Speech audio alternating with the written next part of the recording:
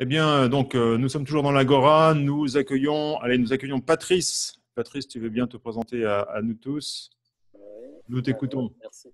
Bon, donc, euh, je m'appelle Patrice. Euh, je suis toulousain d'origine, mais j'habite à Nantes, plus précisément dans la banlieue nantaise, un petit village qui s'appelle Saint-Étienne-Mont-Luc.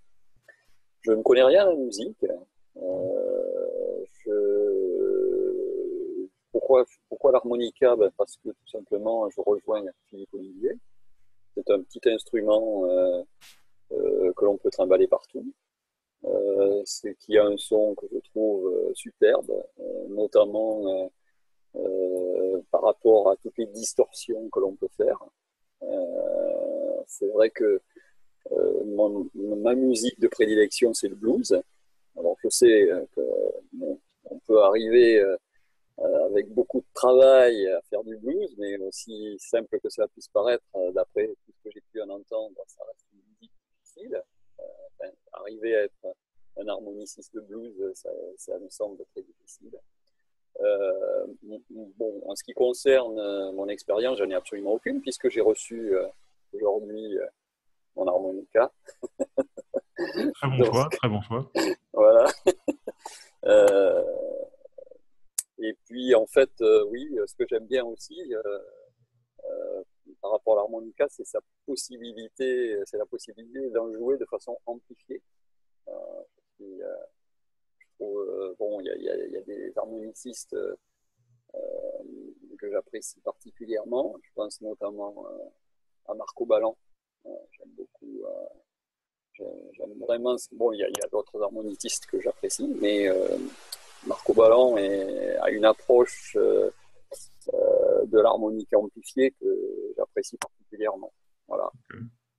Donc, euh, ben voilà, on est parti pour quelques, quelques années, j'espère. Ah bah écoute, on verra. Je te souhaite que tu, que tu joues pendant quelques années, que tu te fasses vraiment plaisir et que tu deviennes le, bluesman que tu, que tu ouais, il n'y a pas besoin de, il a pas besoin d'y passer euh, des années avant de commencer à jouer du blues. Hein. Euh, euh, au bout de, six mois de formation, tu as déjà le niveau pour, pour jouer tes premiers, tes premiers blues. Ah, pas... Ah, d'accord, ok. Je pensais qu'il fallait beaucoup plus de temps que ça. Au début, oui. Enfin, c'est qu'en fait, j'ai eu cette conversation avec Jean-Jacques Jean Milteau, que tu connais peut-être. Oui. je connais de réputation. Voilà. Et donc. je ne le connais pas personnellement. Euh, j'ai eu l'occasion de, lui parler. Enfin, on avait échangé nos numéros et on a passé deux heures au téléphone à parler de plein de choses.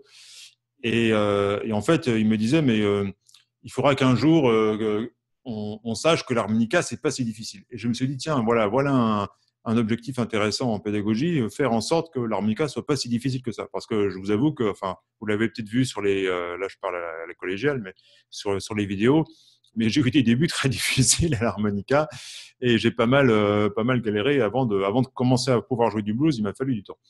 Et euh, je n'ai eu de cesse, moi, d'essayer de, rendre les méthodes un peu plus faciles, un peu plus abordables et de faire en sorte que l'approche du blues soit pas, euh, soit pas trop difficile. Quoi.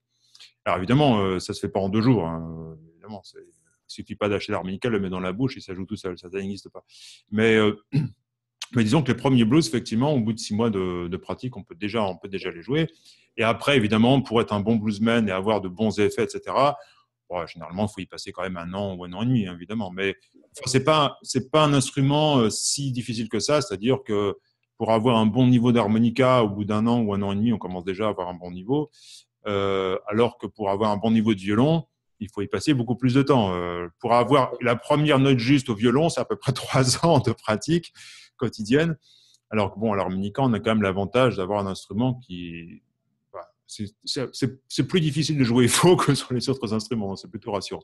Et puis surtout, ce qui est bien avec le, blues, c'est que ce qui compte surtout, c'est le, le feeling, c'est l'impression qu'on donne. Et même si les notes sont pas toutes hyper justes, on peut déjà jouer du bon blues. Euh, on n'est pas obligé d'avoir des notes extrêmement précises comme, euh, comme dans le jazz ou dans d'autres musiques. Je dis pas qu'il faut jouer faux, évidemment, mais, mais ce qui compte surtout, c'est le, c'est justement le, tout, tout le, les sentiments, tout, le, fait de tirer sur les notes, de tordre les notes, tout ça. Et justement, l'harmonica permet, permet de faire ça. c'est ça, oui. c'est ce qui en fait son charme. Bah, exactement. Et, et c'est ce, qui, ce qui fait qu'il est devenu aussi populaire. Parce qu'à la base, il n'était pas du tout fait pour ça. À la base, il avait été conçu par des horlogers pour, euh, pour que les enfants puissent s'initier à l'harmonica. Mais euh, c'est devenu un instrument de prédilection pour tous les, bluesmen. En fait.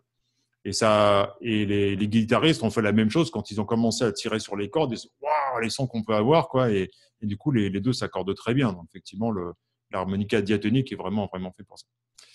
Ok, bah, merci de ta présentation, Patrice, et puis euh, sois le bienvenu dans nos agora.